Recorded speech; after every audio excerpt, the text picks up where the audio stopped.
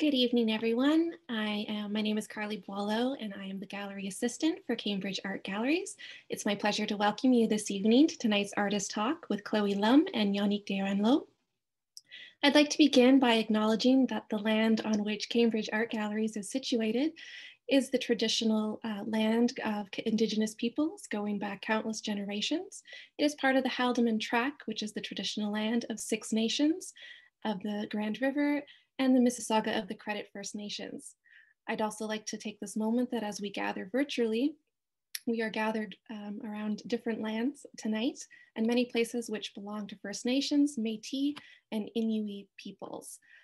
Um, we recognize that many of these places um, in which we gather are their home, and it is important to acknowledge this as it is a part and a big step in towards reconciliation.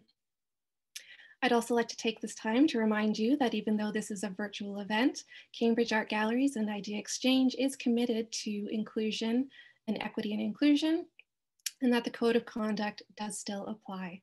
Um, so if anyone is in violation of this code, then they will be removed from the event. Um, I'd also like, like to let you know that this event is being recorded um, so that it can be accessed later by yourself and those who cannot attend. But don't worry, we can't see you, so only the panelists and myself are being recorded tonight. Um, so it is my very much um, great pleasure to introduce Chloe and Yannick. They are multidisciplinary Montreal-based artists um, whose exhibition Is It the Sun or the Asphalt All I See is Bright Black is now on view at the Queen Square Gallery. Chloe and Yannick's artistic practice focus on theatricality and the choreographic in both their performance work, but also in their interest in staging tableaus and working with ephemeral materials that can be said to perform through redeployment and decay. Their most recent works investigate the agency of objects, the material condition of the body, and the transformation, uh, transformative potential that bodies and objects exert upon each other. These interests are informed by Chloe's experience with chronic illness and its effects on their collaboration, as well as their exploration of narrative tropes from literature, theater, and television. Um, thank you, Chloe and Yannick, for joining us tonight. Um, we will have a Q&A at the end of their presentation. If you uh, navigate to the bottom of your screen, you will see a Q&A button on your Zoom screen. That is where you can click in and ask your questions for them. So without further ado, I'm going to send it over to Yannick and Chloe. Hello, everyone. Uh, thank you, Carly. Uh, we're really glad and happy to uh, be part of this presentation. And uh, we're talking to you live from Montreal. And um, yeah, so uh, I guess we'll start right away. I'll do a little screen share. Yeah. Oh, Um, oh, yeah. We're we're basically in this talk going to kind of do a real deep dive on the the video work that we're the installation video installation that we're showing at Cambridge Gallery. If you haven't seen it yet, um, that's fine because we're going to be showing a lot of short excerpts and just kind of talking about our kind of ideas behind this work and how they kind of uh, snake around in in our other uh, in the rest of our practice. Yeah. So, um, is it the sun or the asphalt? All I see is bright black. Is a video installation and a sculptural installation. There's uh, the video is uh, divided in ten sketches, although they're seamlessly woven together uh, in the installation. And what we want to do uh, like Chloe said, like is really kind of explore those main themes, like talk about the main themes that we explored through this work. And um, the first kind of idea uh, that we touched on in this work is this thing called thing theory. We'll play this uh, the little uh, excerpt from the first sketch, uh, which is titled "It." and it's about a minute long. It has a special value to me, one that goes beyond anything you would offer for it.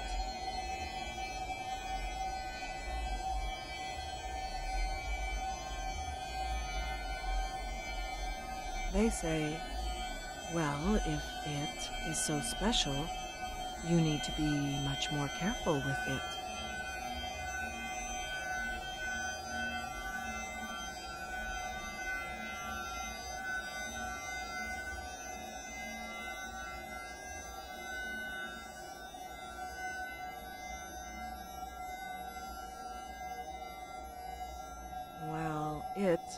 Doesn't need preciousness. I understand it because I became physical with it.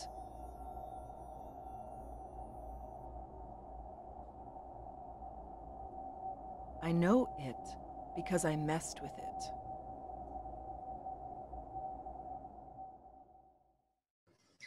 So as Yannick was saying, um, in this work and in in our body of work, we're really interested in the idea of thing theory, which is a, a philosophical framework um, that that's been posited by Bill Brown, who's a literary theorist, and it really has to basically it's as simple as this like deep investigation into the kind of affective relationships that we as human beings have with the inanimate objects in our lives um, as as vi- both people who are visual artists but also who are collectors of all kinds of ephemera um, this I this this investigation of these kind of relationships is super interesting to us.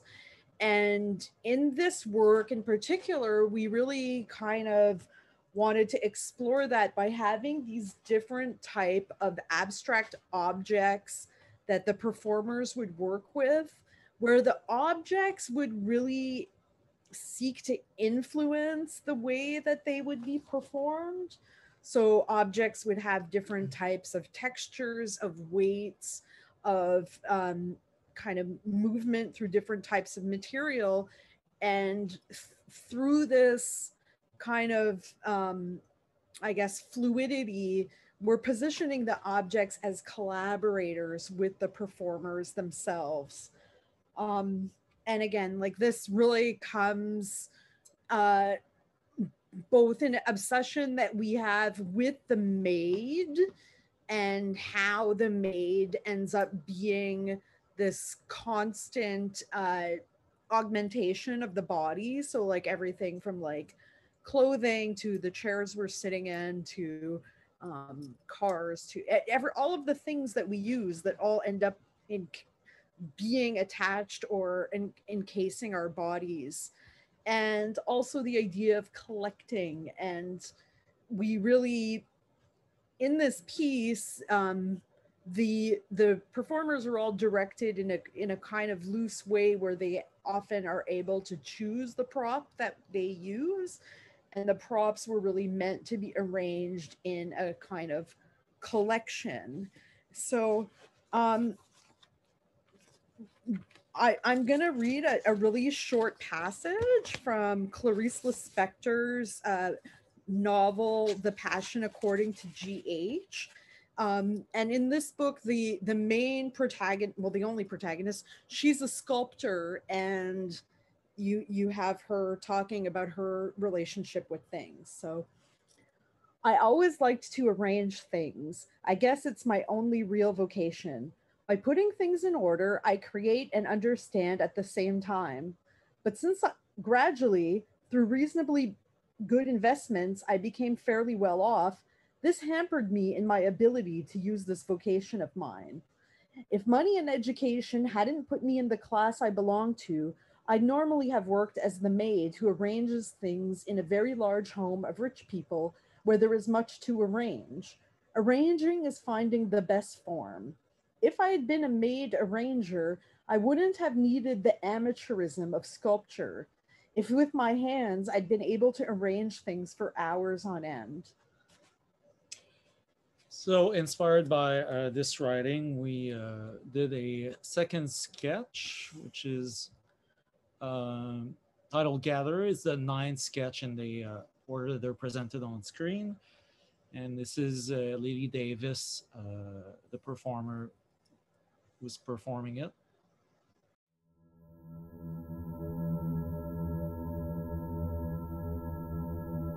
teacups and saucers.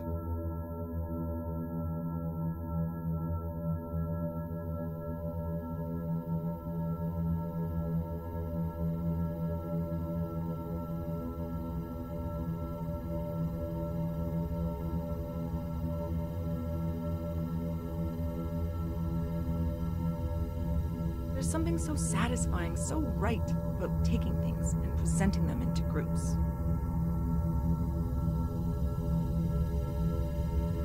This is why I do what I do.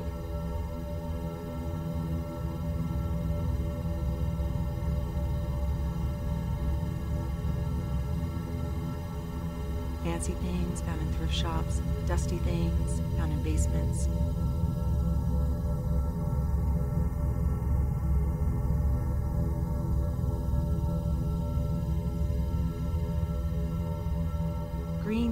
Growing in the soil.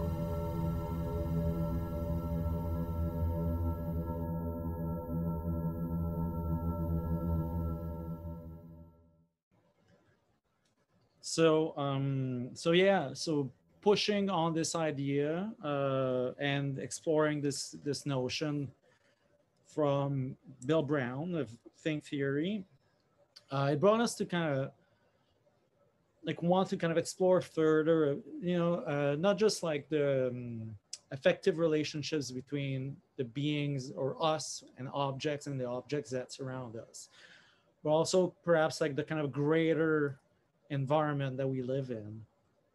Uh, because Bill Brown talks about this thing, you know, thing theory in this kind of um, in, in, in, in, comprehend, in the comprehension of the kind of ethical contracts that we have with things uh, and leading us to do, you know, kind of different actions with them because, you know, we develop those uh, effective relationships. But uh, to us, like it, it we were kind of asking ourselves, well, what about this applies to the greater environment we live in? And uh, what if this question, these questions or the kind of behavior we have with our environment could be put into questions or into this kind of same kind of questions that uh, Bill Brown puts forward in his writing on thing theory. So uh, those next clips, those next sketches are about that, are kind of those ideas kind of push further. The first one is uh, titled Territory, and uh, this is Winnie O who performs it. And it is kind of questioning about our the legacy that we're leaving, you know, in terms of our built environment and the impact that we have on the places we live, and this kind of like kind of greater ethical comprehension of like uh, human interactions with nature, but also at a perhaps like a even greater scope like colonialism, etc. So let's play it.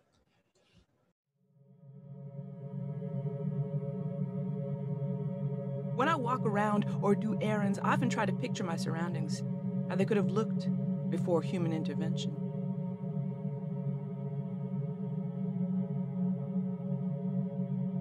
And I mean intervention at the scale of hydraulic shovels and steamrollers.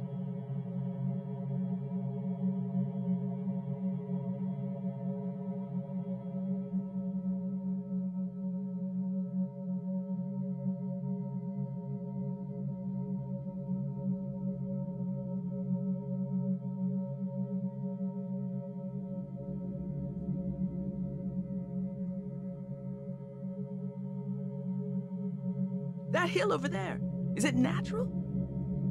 Just dirt heaps dug up from somewhere else, then dumped there.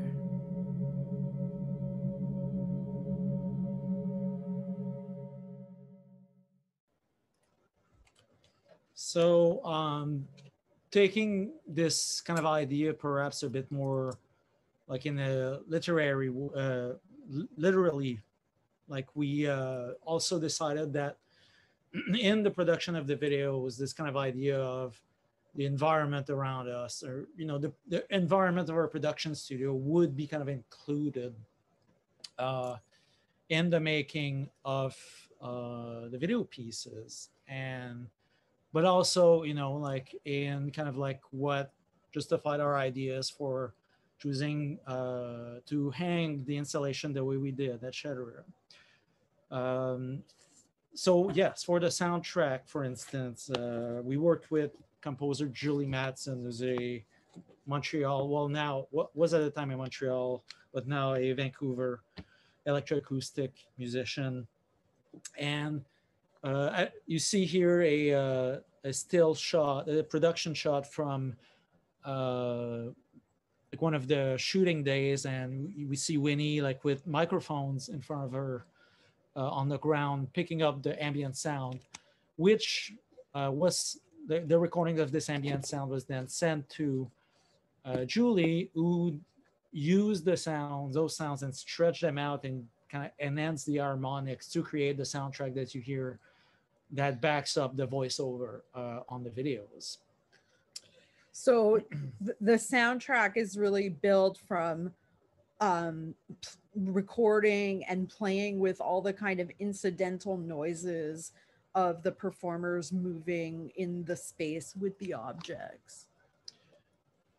Still on the same subject matter, but perhaps in a much darker note, this idea of the place of uh, humans in nature and the legacy they leave uh, is also explored in uh, Sketch 7 Redundancy in a at the same time more playful but kind of darker way because like we kind of basically ask like you know we, we basically kind of question our our, our use or like basically we kind of like say that like humans perhaps are a bit futile and maybe will disappear someday. It's it's it's quite dark but um talking also about the soundtrack this is the only clip that is uh you have live sound and uh non-slow motion action and at the same time it's a testament of the set we were working in working with but also a uh, a recall of the origin of the piece which uh, like the whole installation, the whole video piece started as a live performance piece, and we thought it was uh, interesting to have that like somehow like revealed in the in the video work.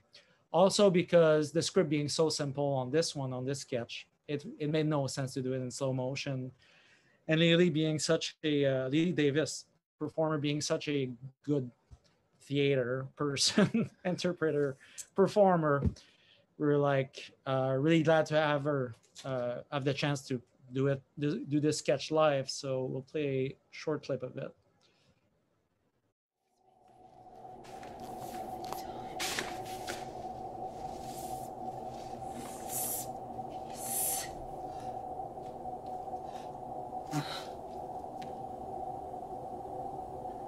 filling time and filling space filling time.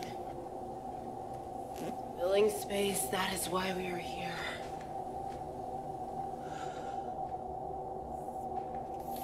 Filling time.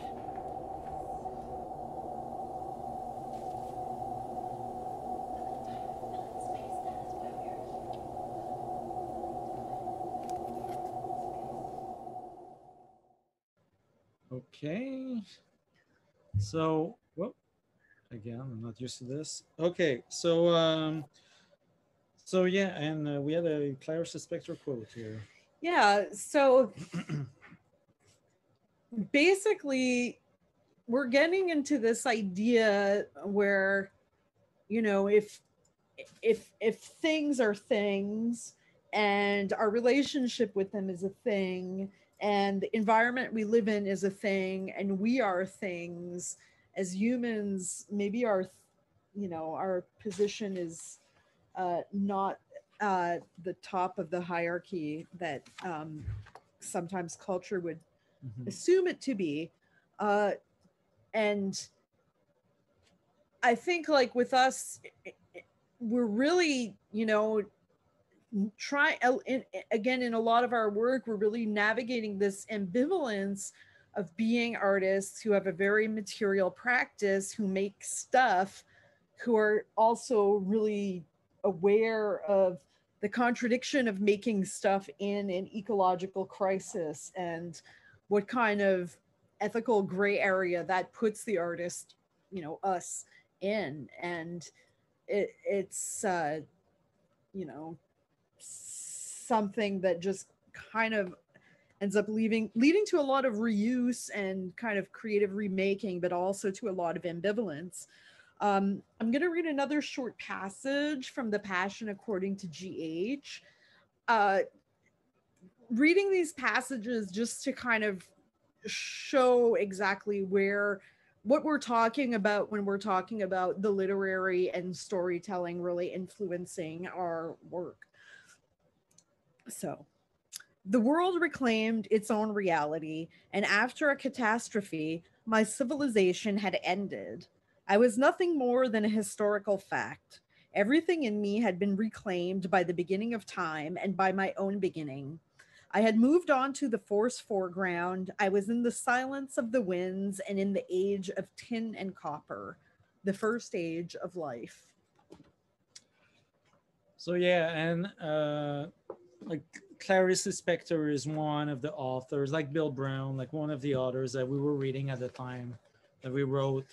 Is it the sun or the asphalt? All I see is bright black and uh, and yeah, and like you know, this, those influences really kind of transpired through the sketches, and you know, like really, really, what were those ideas are all starting points that then like became new works after this one, because uh, we really see this this one like video and installation is kind of like a kind of turning point in our uh, art making.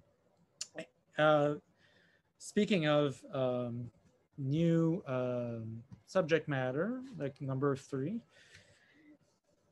uh, sick and crip theory, which is like uh, the third subject that we're touching in on uh, in this work. Yeah, I think this piece was the first work of ours where we started um, dealing autobiographically with the fact that I was dealing with the chronic illness, uh, neurological condition that was really uh, drastically changing my ability to make work or to even be a person in the world um, because it was having such intense symptoms of pain, fatigue, and uh, vertigo. Um, and, you know, it was it, it was like an uphill battle to get a diagnosis and i think when we started working on this piece i i had had a diagnosis and a and a very patchwork treatment plan for maybe about nine or ten months at this time mm-hmm. so it was it, it, you know realizing that oh no i'm not just burnt out or something. I actually have a, a chronic illness that is probably going to be uh, there for the rest of my life. And i'm not going to really be able to get out of this with yoga and herbal teas which was super maddening and upsetting. And but also i think kind of laid the groundwork to really talking about you know these kind of things autobiographically i i mean in a kind of uh, dark irony, it was really becoming super ill that really kind of pushed this kind of thinking that we had towards uh, working um, choreographically and with installation um, that was really like engaging in the haptic. The, these kind of things really came forth with me thinking about illness and how my body no longer working the way I had understood it for the first like 37 years of my life. Um, how this rupture was really seeing the bo- the human body as a thing mm-hmm. and as a thing that could function or not function, but that it could also function in different types of ways that could, you know, be left to discover. Um, I was really reading a lot of disability theory and its kind of spin-off sick theory, uh, which is like really more specific to chronic illness and invisible disabilities. Um, and this kind of strange navigation of you know often passing as a as a healthy person while being anything but. And one one of the thing one of the things that really kind of i guess uh more kind of seminal texts in in this area was uh elaine scarry's the the body in pain and i'm going to read a very short little passage and then we'll look uh what's the next clip Uh, it's Ealer number six. It's the And- first, the first one. and then we'll look at a, a, a another excerpt performed by Deborah Dunn, Mhm. who is a dancer choreographer who we work with a whole lot, who had actually talked to me a lot about um, some health challenges she had gone through recently, and uh, which is one of the really um, kind of generative aspects of talking more autobiographically, because then you work with all these people who are like, oh, me too. Um, so uh, th- this um, idea was something that was al- I was already thinking about uh, kind of sideways before I read this book, and then when I read it, I was like, oh yes, this is actually a thing. The presence of the body in the realm of artifice has as its counterpart the presence of artifice in the body. The recognition that in making the world, man remakes himself. So this this kind of idea of making ourselves through the build, through the made, um, is I wouldn't say liberating because I'm not a very pe- uh, optimistic person, but it's interesting. We'll play the short clip from the sixth.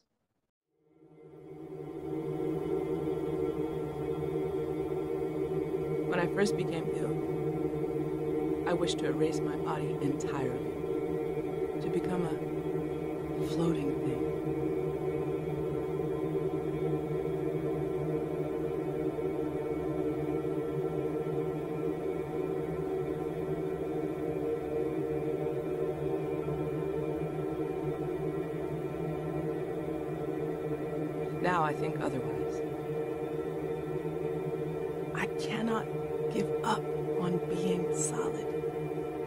Cannot stop wanting to affect space.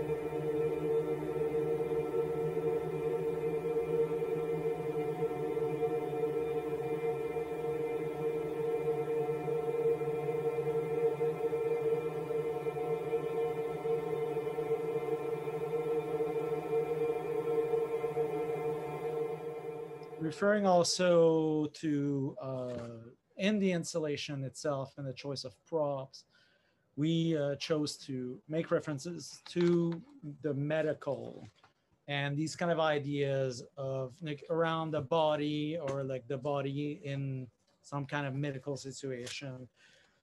For instance, the use of chrome steel all over um, over the installation, like into the screen structures or in uh, the table legs, for instance, or the little kind of sculptural props on the ground over and over, uh, because those are the kind of materials and colors we see like in the accessories and medical equipment and so on, or brush steel, for instance. It's just this kind of shiny septic quality of it. But also, um, next one is like the, in the choice of colors.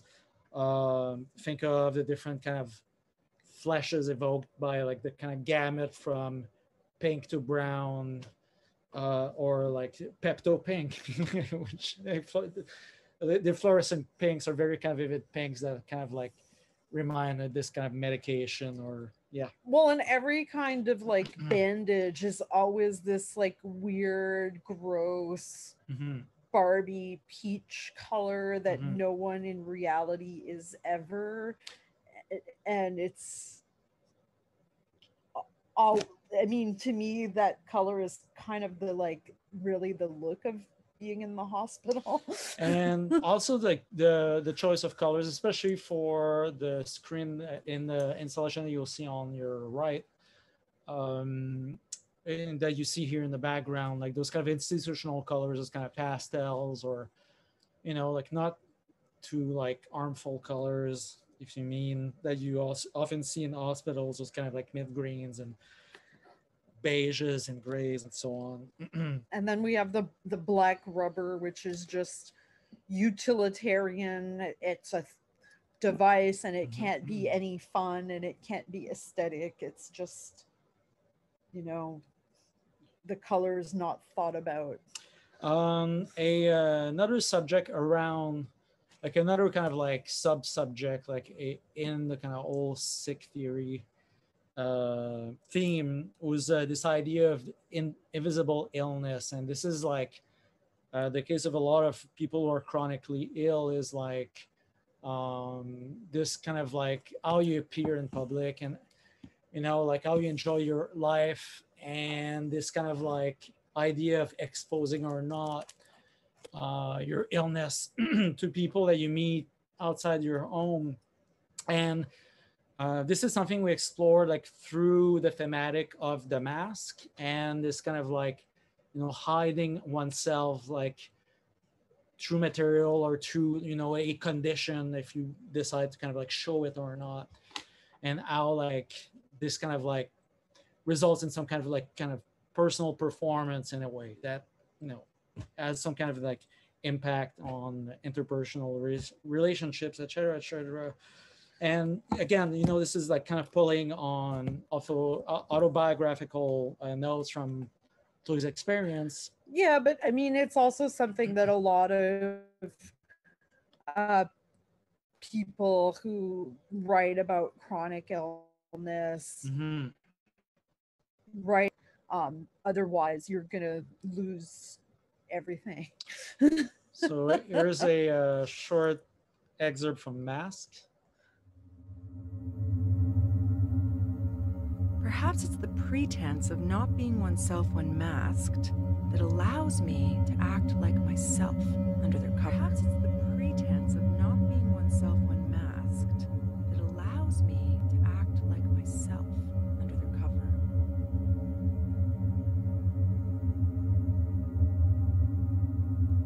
Putting the mask on to take all masks off.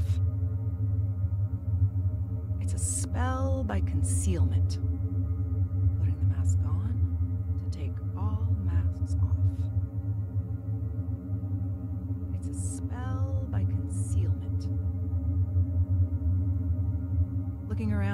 See a thing, and that's soothing.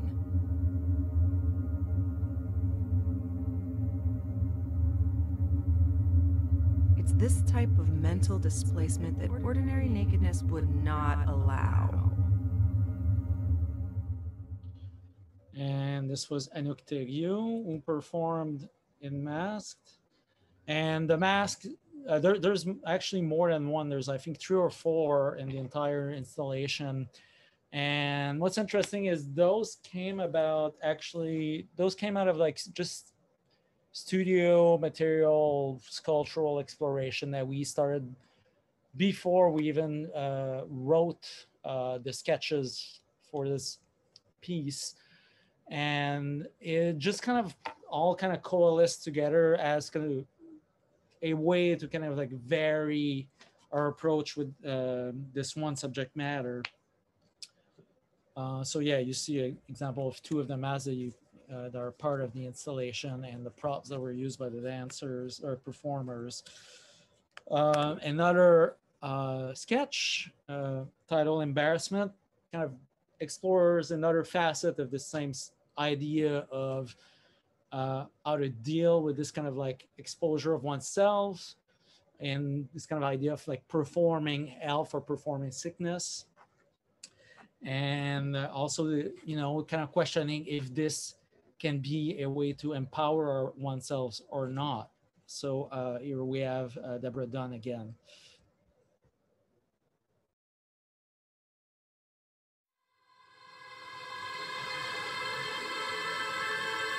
This is why the communion I have with my feelings comes ahead of any of their possible translations by the outside world.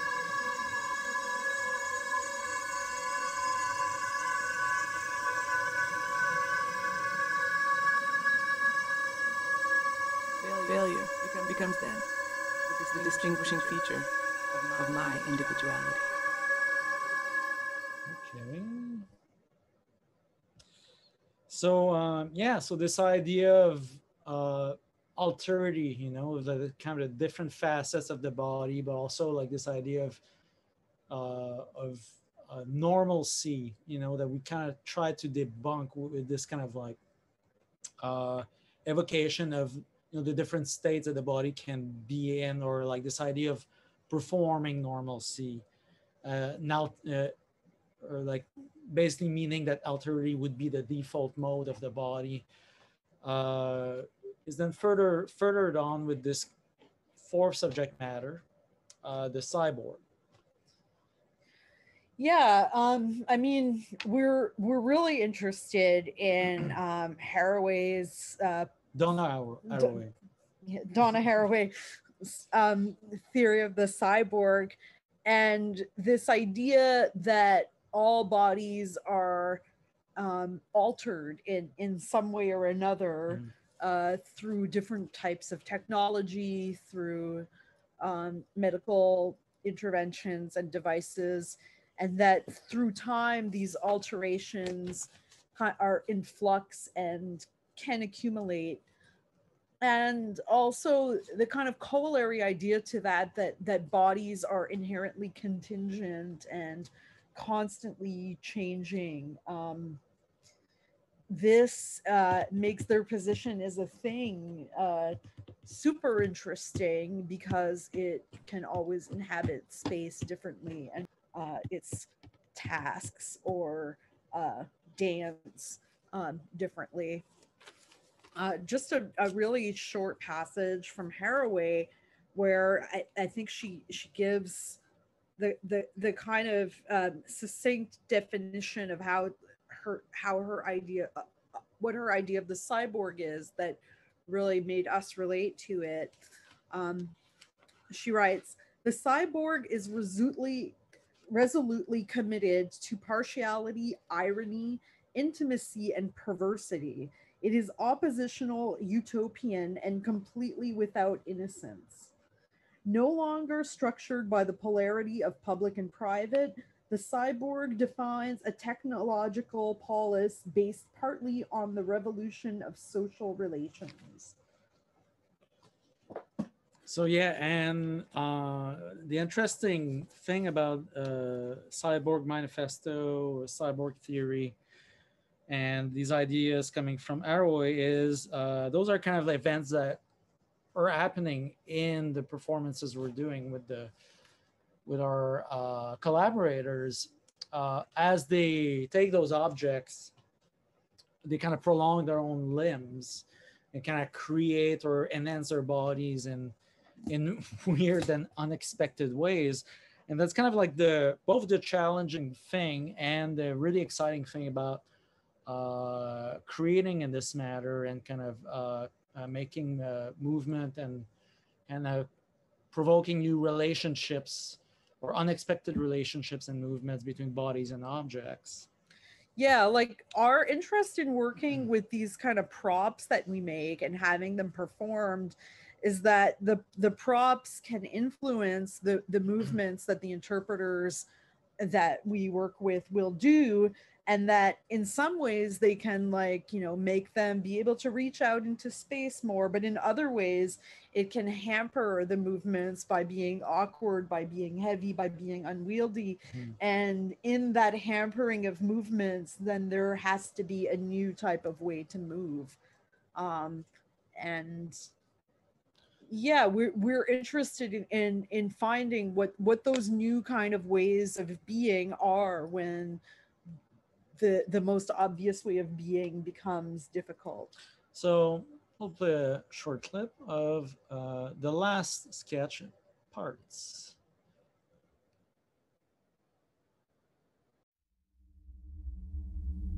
I figure I figure I'd replace, I'd replace the parts that were problems, the ones that caused pain. Not just not just remove and leave a void, but become become partially, partially artificial.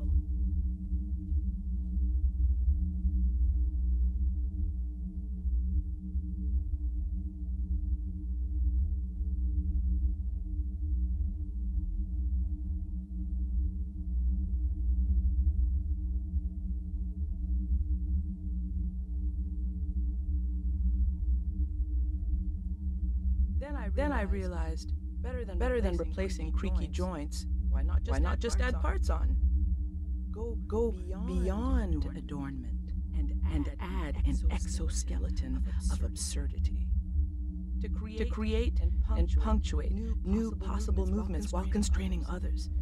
And uh, what we want to bring on now is perhaps a uh, couple examples of uh, influences, artists who influenced our work and fed us some ideas and notions of how to approach uh, this idea of illness or the less mobile body or the chronically ill body through art and through performance. Um, Rebecca Horn. Uh, Yeah, um, we've long been interested in Rebecca Horn's uh, early performance work uh, that she kind of called under the s- subtitle Body Extensions. And it wasn't until really researching that work that I learned that these works came about um, when she was hospitalized for tuberculosis and could no longer um, for a period of time could not do the the kind of more in uh, material intensive sculpture practice that she had then. So she started making these uh, smaller more portable um, props in order to to use as body extensions like the, the works are called. And um, you know obviously i felt a huge affinity there. And um, always kind of loved and questioned the mythos because uh, she claims to to have made many of these uh, props in in her sick bed and you know i as someone who makes a lot of props and who, who is very messy making those props I always wondered how it was feasible that she would be making them through in bed. Um, but you know, I, I, I, love the idea nevertheless. Another important reference point for us is uh, Bob Flanagan and uh, is basically approach this idea of illness in a different way. Uh, Bob Flanagan is a performance, was rather a performance artist uh, who, who died from uh, cystic fibrosis in his mid 40s, uh, which is at least uh, in the mid 90s was a very long Yeah, he he lived, lifespan, Usually, well, at the time, people with cystic fibrosis would die. very young. Yeah, Yeah, and um, Bob Flanagan, because you know having this illness, you're constantly in, in pain, and the uh, Bob Flanagan was interested in combating or uh, oh yeah distracting. distracting pain i guess or combating pain with pain so a lot of his performance involved uh, bdsm and he worked in collaboration with his partner uh, whom Sheree Rose. Sheree Rose, thank you. I, I couldn't find the name.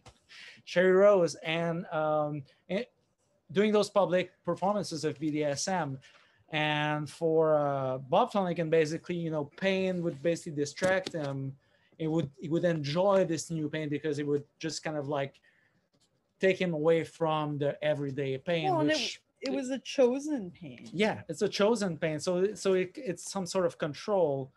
And the next sketch is inspired from this uh, story. And it's titled Julie. It was the third sketch in the order we presented. Well, Uh, performed Well, by uh, I need to tell you again. Julie's pain is not gone, but objects have become extensions of her body, and these things help her live with the pain.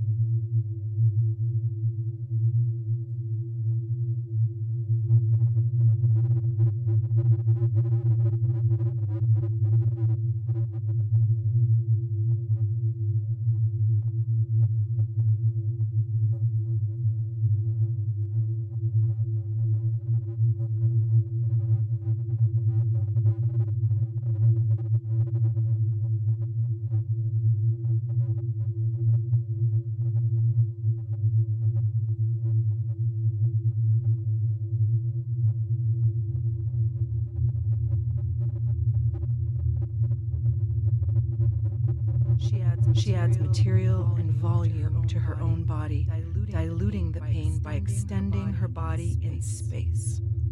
So uh, the last subject matter and the one subject matter that perhaps like englobes everything, all the 10 sketches together is this idea of affect as choreography. How like through the different dimensions of the work, this idea of affect or the affective or uh, affection or attachment or relationships is what uh, binds the subjects matter to, together, the different subjects matter we broach, but also uh, is kind of like a a catalyst for the performers to do their movement. Uh, the, uh, also a catalyst for the decisions are taken on stage, uh, usually by the performers as a live setting, like you know directly on like in, on screen or you know in, the, in its first form, and we'll talk about this in a bit as a per, uh, live performance piece. And this is uh, Winnie O uh, performing uh, duplication. B- basically, this work, uh, this, sorry, or sorry, this sketch, and this is the last sketch from the, the video that's in the exhibition we're going to be showing you, um, is about uh, basically it's kind of like a, a bit of a how to or how the whole piece is written in terms of choreography. A lot of it is asking of the performers to react to objects directly and we don't usually especially in this piece we weren't directing them necessarily to specific objects or to specific movements but we were kind of like crafting the directions in a way that they had a lot of freedom so every time they would kind of like let's say perform it for the camera like in, let's say we do three takes for one sketch every time it would be a new performance so this is it. Mirroring is how we understand.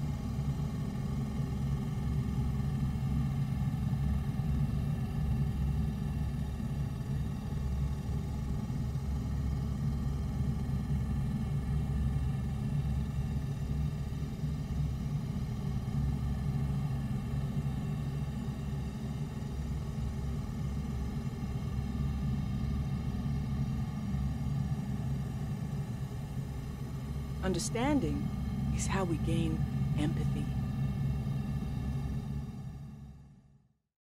So uh, do you want to go or should I finish this? Yeah, yeah. Okay. Well, I'll maybe I'll interject. Yeah. Okay. So yeah. Um, so yeah, the effect is something that is found in you know the shapes, the weight of the objects, and directs the performers like you know because of their qualities. And this is a really good example because th- this kind of wreath of rubber things is uh, was something that was really attractive to a lot of them because it, it for one it's really heavy. Yeah, and for two, it really has like this be, because the pieces are all kind of interlaced together. It really has a lot of in, inherent movement to it. Yep. It bounces a lot. when It's kind of formless. Yeah. um yeah uh, i mentioned earlier in the talk that we really think about these different material properties of the objects because we you know we we think about the performers handling them and wanting to make things that have texture that has movement that has a, a kind of reaction to being deployed are are all uh I don't know, I guess important qualities that we think of when making props that are really going to take up a lot of space. So, uh, like I mentioned a bit earlier, uh, is it the sun or the asphalt? All I see is bright black. Started as a live performance piece. It was designed as like a sort of cabaret for basically the bar at Art Toronto in uh, 2016, the fall 2016. And it was commissioned by Drake Hotel. Um, and it was a bit, it was pretty much shaped the same way where you had this 10 sketches, but except there was no background music. And uh, like you can see here, uh, the performers were having a headset and a microphone the headset for uh, the directions and a background music for them to pace themselves on and the microphone to amplify the lines that they had to repeat basically the voiceover that you hear in the video that they basically had to do live. And we had set up the the cabaret as a you know a sort of like kind of a garden of objects for them to choose from. And the idea basically was for them to really kind of go with what they found attractive, what they found pleasurable or interesting or potentially pleasurable to play with from this kind of like gamut of objects that was on the wall. And at the same time, you know, it served that bar decoration.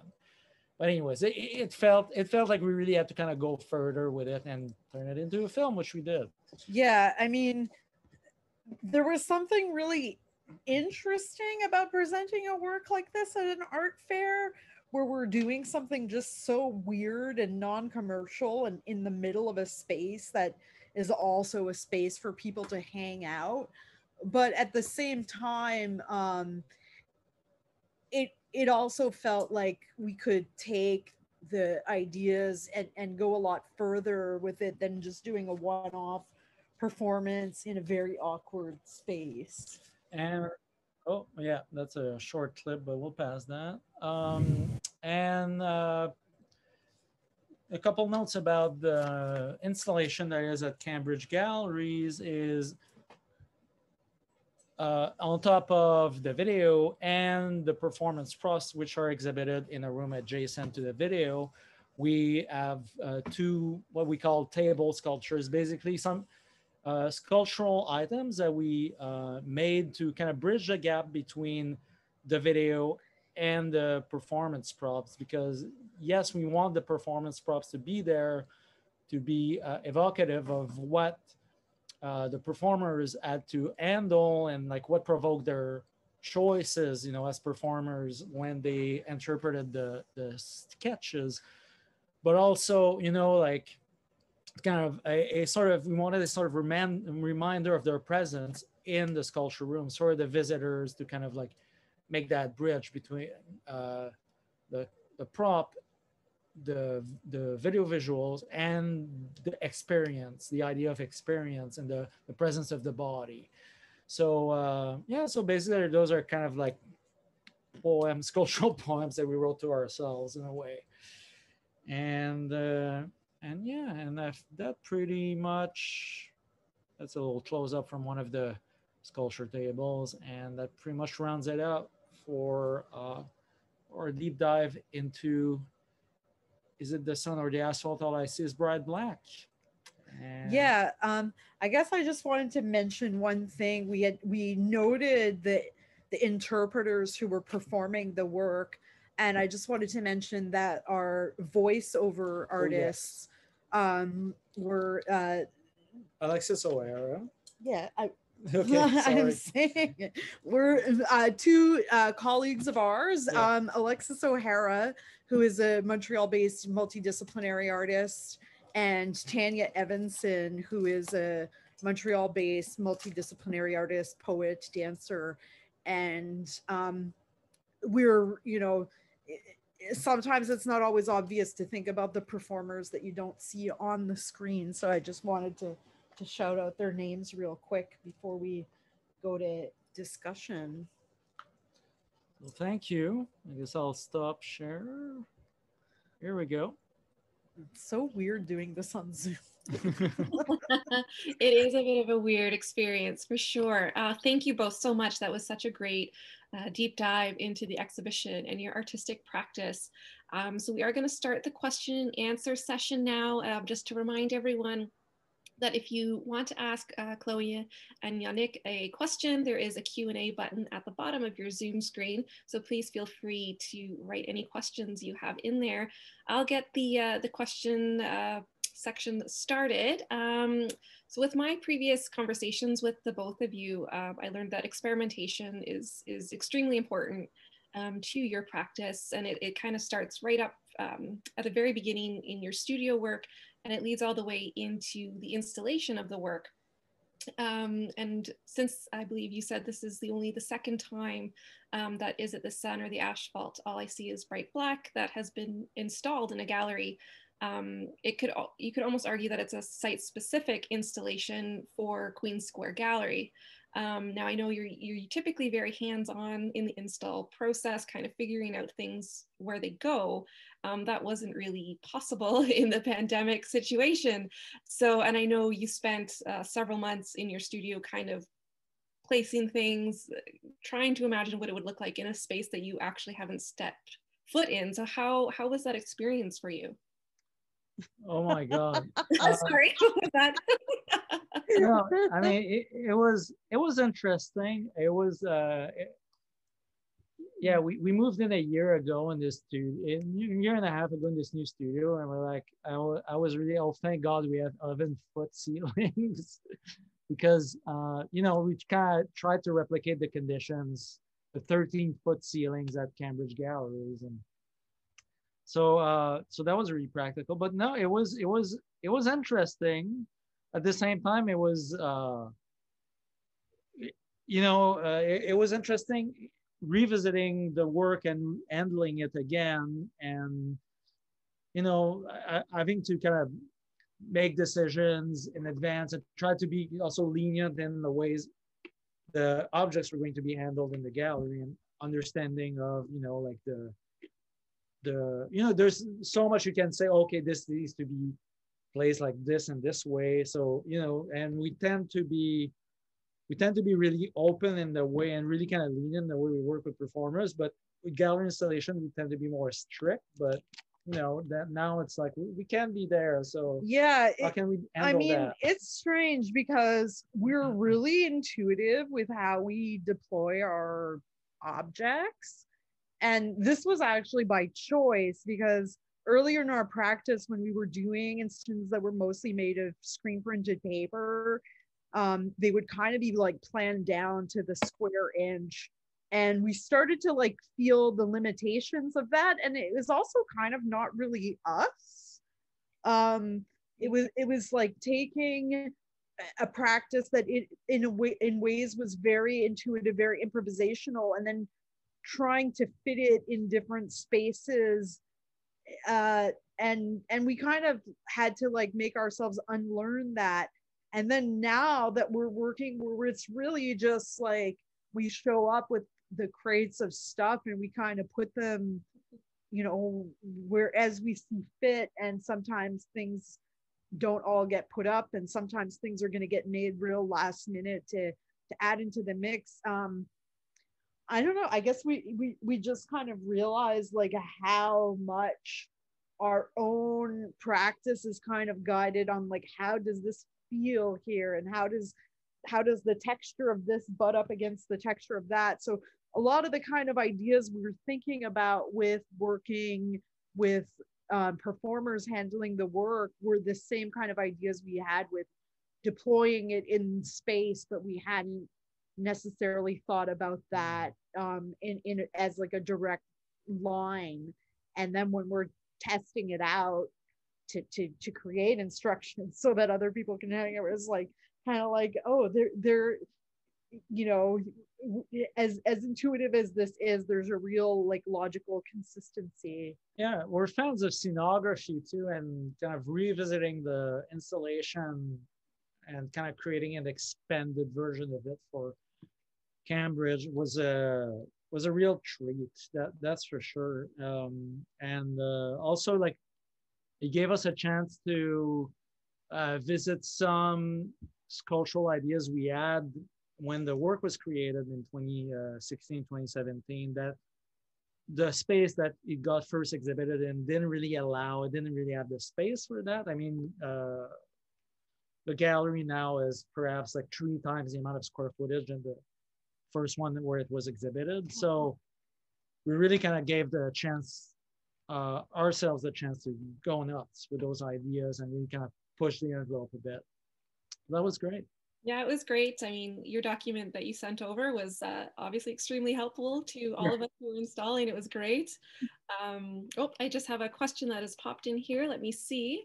Um, it says, can you di- discuss your development from 2D to 3D art? So I, I, I'm believing that's kind of stemming from uh, Chloe when you mentioned the screen printed uh, installations uh, that both of you have worked on previously, as especially as Seripop. Um, yeah. Yeah. Well, I mean, I guess to bring it back even more, like when we were doing screen printed installations, that grew out of doing screen printed posters, um, primarily event posters. Like we had a really long time as musicians in avant-garde music and um as we we we started making posters for our bands for our colleagues and stuff like that so um we we uh, spent nine years where we made about 500 different screen printed posters and i guess the, the the most like direct thing was was because we were making these 2d objects that would then get pasted up in the streets and on the urban furniture um It would take that shape. yeah especially in montreal um you know in the early aughts the the kind of gentrification boom that we're having now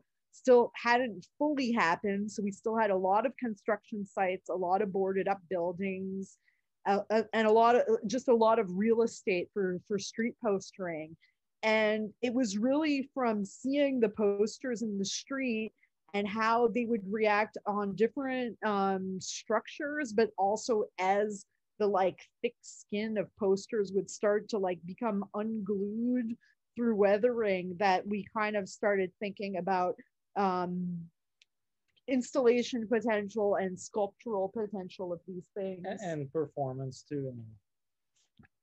Further further down the line as well, like seeing the kind of thing evolving in a long stretch of time.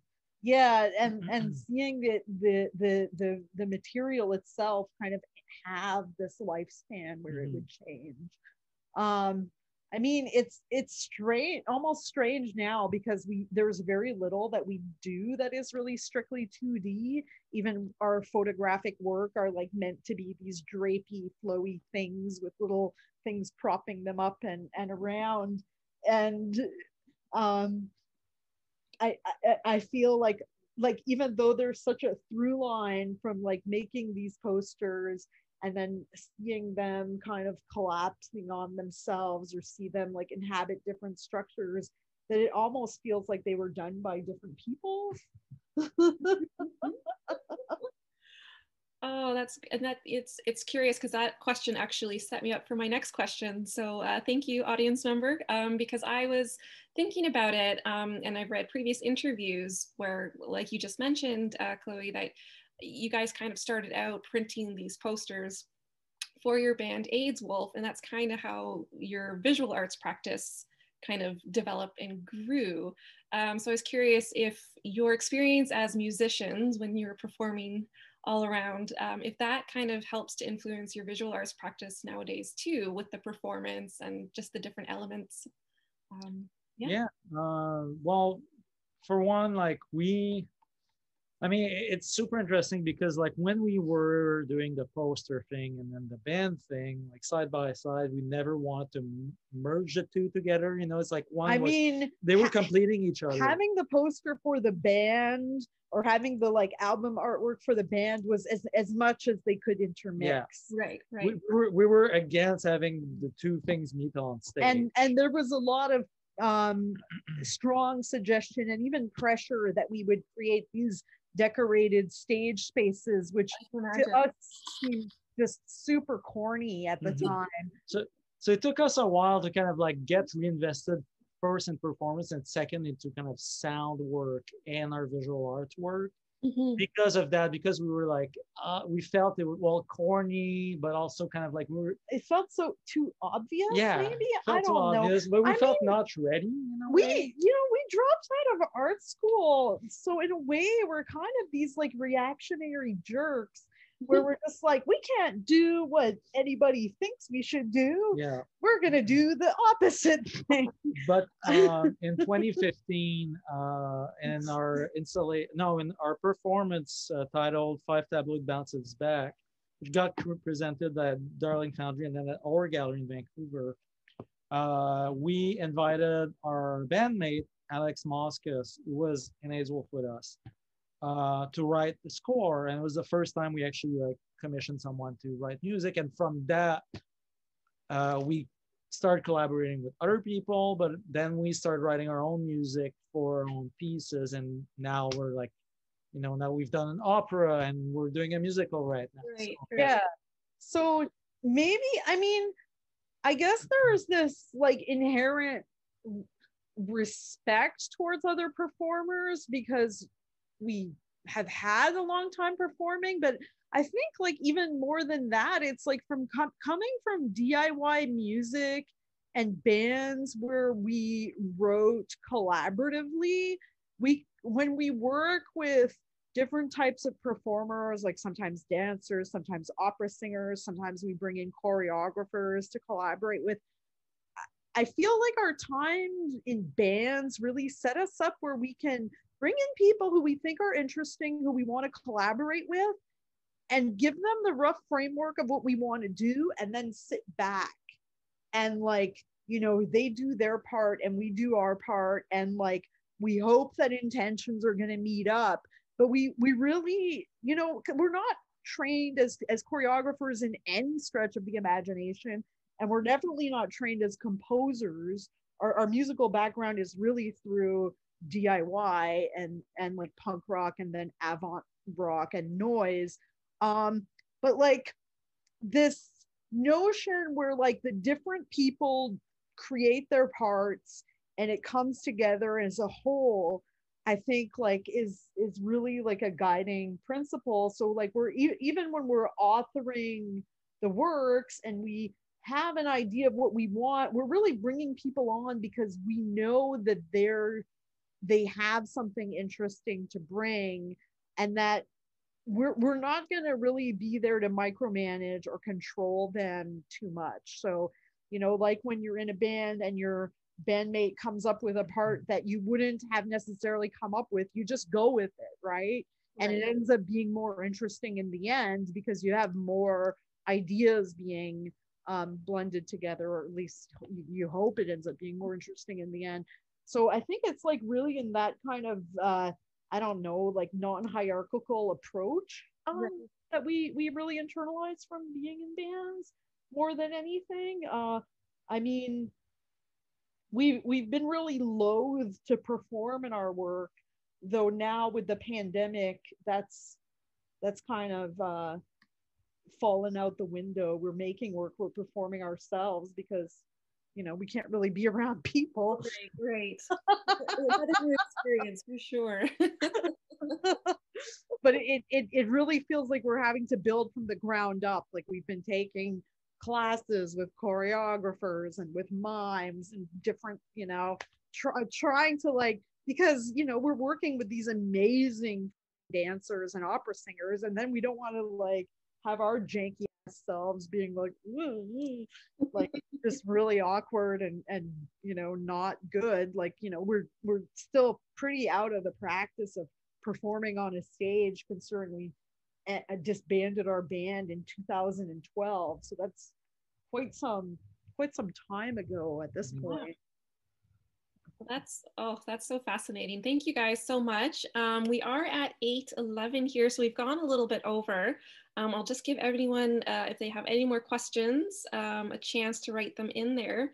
Um, but while I do that, I just really want to thank uh, Yannick and Chloe for you know coming in virtually tonight to, to share your wisdom and uh, your art practice. It's been a, a real treat getting to know you guys these past couple of months and, and working with you, but uh, it's been really wonderful. Um, Thank you. yeah, it's been so great. oh it's And- our pleasure Yeah. Any Yeah. last comments? Uh, anything you want people to, when we are fortunate enough to reopen the buildings again, is there anything you would like people to kind of come away with when they visit the exhibition? Like any any hopes? I, I don't know. Well, Oh, I hope it's gonna reopen again. We're definitely hoping to. Oh, another. Oh, we have a, a couple people saying thank you so much. Really fascinating work. Yes, I agree. Absolutely. Um, it's, Yeah. it, the work is, is truly unique and it's very thought provoking, um, but it's also vis- very visually. Um, what's the word I'm looking for? It, it draws you in. It's it's visually intoxicating. Um, I might say like it's just yeah. It, it's. Thank you guys. Um, let me just see here. Yep. So I guess we'll we'll call that for the evening. Again, thank you guys so much for for joining us tonight and talking and preparing that presentation. It was truly wonderful. Um, I'd also like to thank uh, the continued support of the City of Cambridge, the Ontario Arts Council, and of course the Canada Council for the Arts. I would also like to thank my colleagues who are working behind the scenes tonight. Um, uh, ex, sorry, exhibition coordinator Matthew Teagle and outreach and events liaison Veronica Rilson. I'd also like to thank the rest of the gallery team, director curator Mon- Marcy Bronson, uh, ex- sorry, community special engagement specialist Gabrielle Claremont, and education coordinator Robert Thody. But most importantly, I want to thank the audience. Um, obviously, without your uh, participation tonight, we wouldn't really have much of a- an event. So thank you, audience. Uh, we look forward to uh, being able to invite you back into the gallery space uh, once it is safe to do so, so you can experience the exhibition. Is it the sun or the asphalt? All I see is bright black. In the meantime, you can go to our website. We do have um, a couple things uh, that will uh, you can access virtually that will support the exhibition. We have a reading list that was created by one of our librarians at Idea Exchange, Megan Casey. And so there's a whole bunch of resources that she's pulled from the Idea Exchange, Exchange collection that you can borrow, um, books, CDs, even movies that complement different themes that uh, she found were relevant for you. Uh, we also have an upcoming free virtual workshop with art therapist Jasmine Tufford Singh, uh, where participants will get to explore um, the idea of the mask and what this mask means to us in the current pandemic. Um, and kind of you can either create a 2D or 3D version of the mask using materials around your home. Um, so that's it for me. Um, Chloe Yannick, I'll let you say your goodbyes if you like. And thank you guys so much. yes, thank you. Uh, thanks for having us. yeah we're always pleased to go deeper into some work uh, even when it's a little uh, stiff because it's online Yes. it's hard because you don't have the audience reaction really that uh, you, you're used to. Cat over there. Well, that's so- true. just yawning though he's like you guys are so boring Uh, that's what cats do. well, yeah thank you guys so much. Thank you, thank you, and good night, everybody. Um, stay safe, stay well, and have a good evening. Thank you. Bye.